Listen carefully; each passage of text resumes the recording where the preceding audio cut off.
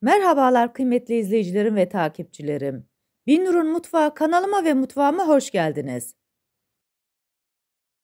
Bugün sizler için son derece lezzetli, asla dağılma olmayan terbiyeli ekşili köfte tarifim var.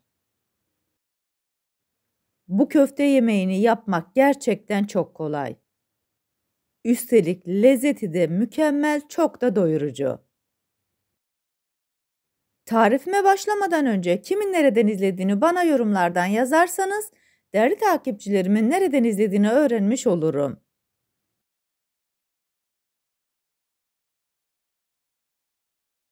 Sizleri daha fazla bekletmeden ekşili köftenin tarifine geçiyorum. Herkese iyi seyirler.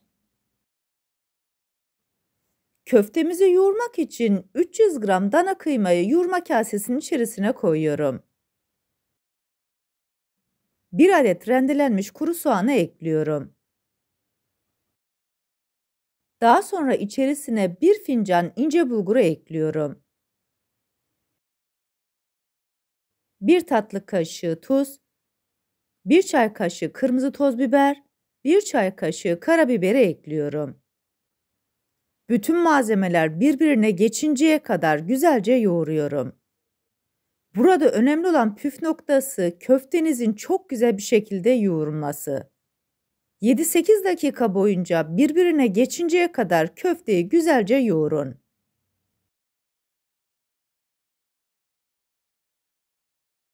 Köftenin kıvamı oldukça güzel oldu. Birkaç kere de yoğurma kasesinin içerisine vurarak iyice birbirine yapışmasını sağlıyorum. Köfteden küçük bir parça alıyorum. Avuç içimde iyice sıkıştırdıktan sonra küçük küçük parçalar halinde bölüp kenara koyuyorum.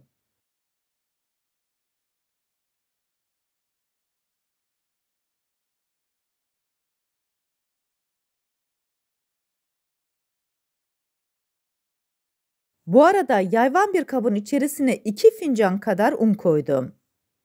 Kopartmış olduğum köfte parçalarını sıkıyorum, daha sonra yuvarlıyorum. Un koymuş olduğum yayvan tabağın içerisine köfteleri bırakıyorum.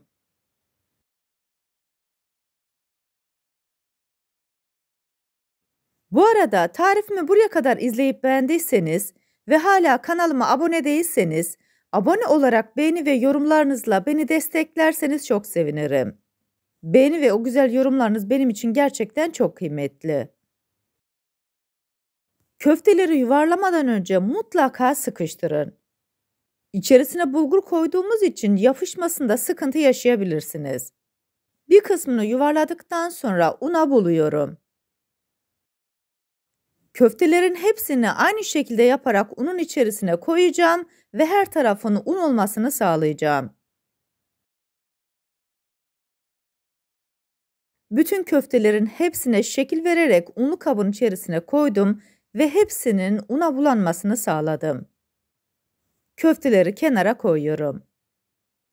Tarifimde 2 adet patates kullandım. Patatesleri köfteden biraz büyük olacak şekilde küp küp doğruyorum.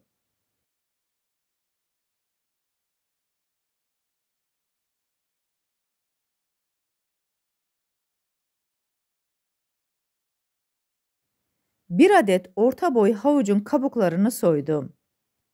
Onu da ikiye bölüyorum. Küçük küçük olacak şekilde onu da doğruyorum. Bütün malzemeleri hazırladıktan sonra artık yemeğimizi pişirme zamanı.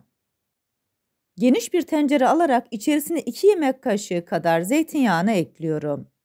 Daha sonra 1 yemek kaşığı tereyağını ekliyorum.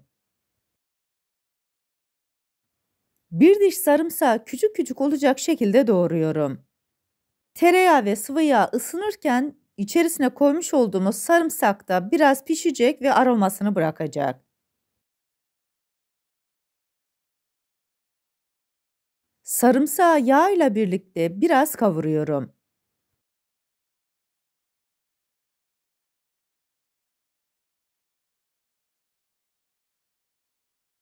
Sarımsak aromasını bıraktıktan sonra havuçları ekliyorum. Bir dakika boyunca havuçlar güzel turuncu rengini çıkartıncaya kadar kavuruyorum.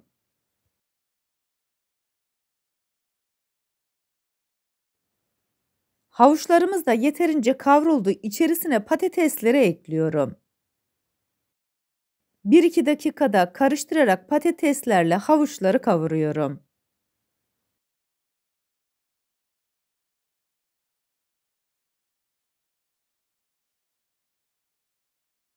Yemeğimizin içerisine 7 su bardağı soğuk suyu koyuyoruz.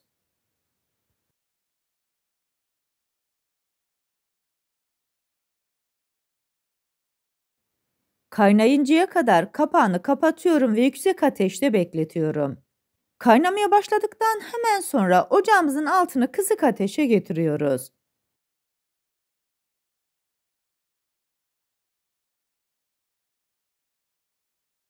Kapağını kapatıyorum. İçerisine koymuş olduğum sebzeler pişinceye kadar bu şekilde bekletiyorum.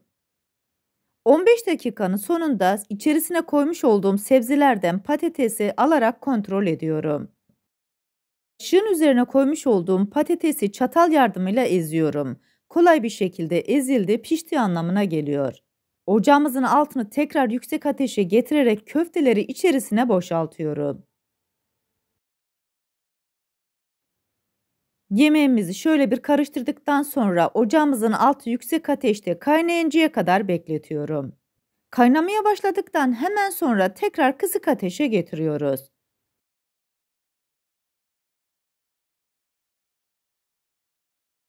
...15 dakika boyunca kontrollü bir şekilde yemeğimizi pişiriyoruz.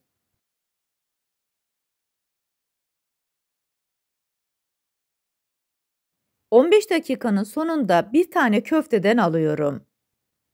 Parmaklarımla ezerek içerisindeki bulgurların pişip pişmediğini kontrol ediyorum. Bulgurlarımız da pişmiş artık yemeğimizin terbiyesini hazırlayabiliriz. Bunun için 2 yemek kaşığı süzme yoğurdun içerisine 1 adet yumurtanın sarısını ekliyorum. Yarım limonun suyunu koyuyorum. Çırpıcı yardımıyla pürüzsüz kıvam alıncaya kadar karıştırıyorum. İçerisine yemeğin suyundan yavaş yavaş ekliyorum. Bir taraftan da karıştırıyorum. Böylelikle terbiyemiz kesilmeyecek. Tarifimi buraya kadar izleyip beğendiyseniz sosyal medya hesaplarınızdan arkadaşlarınızla paylaşarak bana destek olursanız çok sevinirim. Ayrıca kanalımda birbirinden güzel diğer tariflerim var. Onlara da göz atmayı sakın unutmayın. Ilıttığımız terbiyeyi yemeğimizin içerisine koyuyoruz. Bu aşamada ocağımızın altını tekrar yüksek ateşe getirdik. Yavaş yavaş ekliyoruz, hızlı hızlı karıştırıyoruz. Tekrar kaynayıncaya kadar karıştırmayı bırakmıyoruz. Yemeğimiz kaynamaya başladıktan sonra 2 dakika daha bu şekilde kaynatacağız. Çeyrek demet maydanozu küçük küçük doğradığım kaynama esnasında bunu da ekliyorum. Bunu da karıştırıyorum. Tamamen yemek pişinceye kadar maydanozlar da pişmiş olacak.